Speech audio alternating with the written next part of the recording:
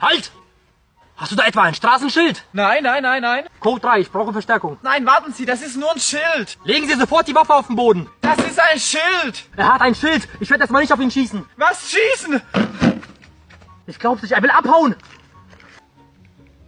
Ja, und dann habe ich halt ihre Nummer geklärt.